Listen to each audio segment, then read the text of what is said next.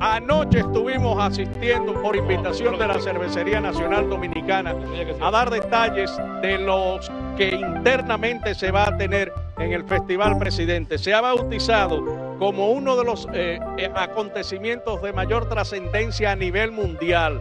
Se le está incluyendo al evento espacios culturales, gastronómicos, musicales, como el Village Presidente del Front Stage. Es lo mismo que se hace en lo- a nivel internacional cuando se hacen eh, festivales de esta naturaleza. No, y artista, Y- y Miguel Ángel, artista, fuera, fuera de- de- del Sí, estadio. sí, y va a haber una sorpresa que la vamos a dar aquí como primicia en la próxima semana para que el público que esté participando llegue VIP, compadre. Yes. Bueno, señores, Dale, y como se esperaba, Lili Estefan pidió eh, excusas, pidió perdón al reportero Paco Fuentes, luego de que esta en su programa, ¿Quién es pues Lili había... ¿No conoces a Lili Estefan? Ella es la presentadora del Gordo y la Flaca Ah. mundial. Ella es la flaca.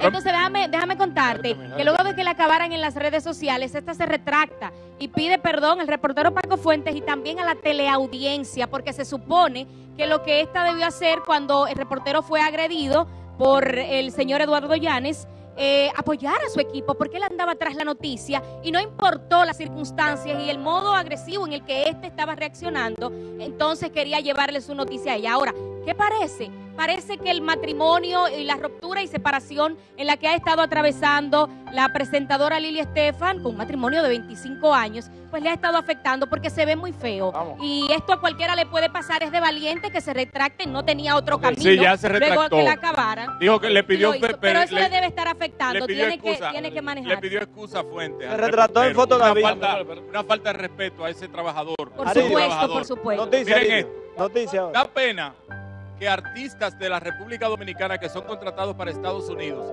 tengan que pagar las consecuencias de gente que se ponen a venderlo allí.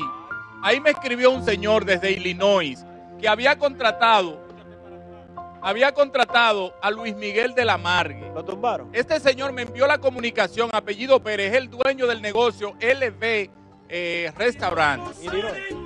Contrataron a Luis Miguel. Luis Miguel yo me imagino que no sabe nada. Luis Miguel de la Mar. Que ¿Quién, lo, no quién lo llegó. vendió? ¿Quién lo vendió? Pero Luis Miguel viene con una serie por Netflix. No, Luis ¿eh? Miguel de la Mar. Miguel de la Mar, tú. Es de la Margue. La De versión la-. Dicen que Luis Miguel podría que caer preso ese llegando a Luis Estados Unidos. ¿Quién vendió? ¿Quién vendió? Luis Dicen que lo vendió Max. No Max. dejo ¿Pero cuál pensar. Max? Ese es el Ah, se otro llama. Max. La persona me dijo Un él. minuto. Me dijo el señor que me escribió. Ok, mira. Lamentable ese caso. Que Porque allá hay muchos trabajadores, muchos promotores serios. Lo serios. bien que la ha pasado. ¡Ay, yo! ey, ey. Va Mira, a Esto es cambiar muy el fuerte. Voy. es muy fuerte, los Saludos a los reporteros Mira. Promotores Unidos, muy buenos. hay un problema en Santiago y es que los hijos de Tatico Enrique, un famoso merenguero, quieren conseguir lo que su papá no le dejó. Tatico se lo bebió, se lo gozó, lo mujerió. No diga así. No, no, pero- no diga así. ¿Cómo es? ¿Cómo es? No diga así. No, venga aquí. No venga aquí a manchar, a manchar el honor de un perdón, Cállese no. Cállese no. Cuando yo estaba en esto todavía no había llegado. Cuidado. Cuidado. Tatico Perdón, orden, orden, orden, orden, Carlos, orden. pero no ofenda Señores, perdón, Perdón, orden, orden. Deja que. Carlos hable. Carlos, sin ofender, continúa con tu tema. Entonces, él quiere demandar al prodigio, a Giovanni Polanco y a ¿Por Banda? Real. Porque ellos tocaron los merengues de él, pero también lo tocó Fefita. Pero- disparate. pero han pagado mundo. derecho. No, ellos quieren 200 millones de pesos, pero ¿dónde caramba? Eso se puede. No, no, no, espérate.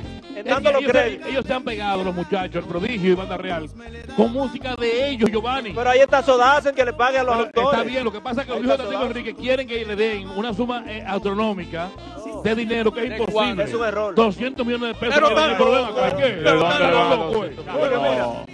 Julio, Yo voy a aclarar ese tema con la viuda nacional hoy. Mira, mira, voy a aclarar.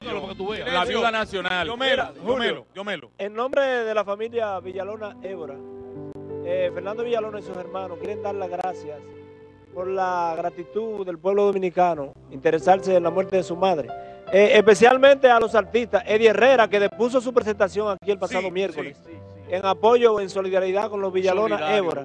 Estuvo también en la, en la funeraria Anthony Ríos, Jacqueline Esteves, hermano Rosario, Sergio Estuvimos Vargas, representando a Sergio nuestro Hernández, equipo. También. eh, Julio Clemente estuvo Estuvimos representando al show. Eh, Juan José. Ventura, no, a Aridio lo, lo inculpamos porque estuvo No, enfermo. Juan José Ventura, en nombre de los de- del Los caballo que estuvo fuera.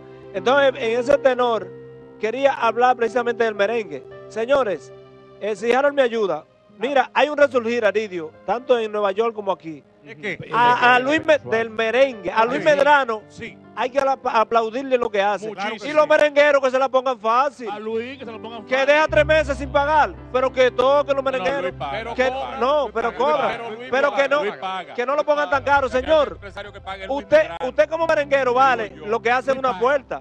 Mira, Tuesca, Paga. lo de Tuesca fue loable en el, en el. Luis. Muy bueno. Bien. Luis Mira aquí, países Así no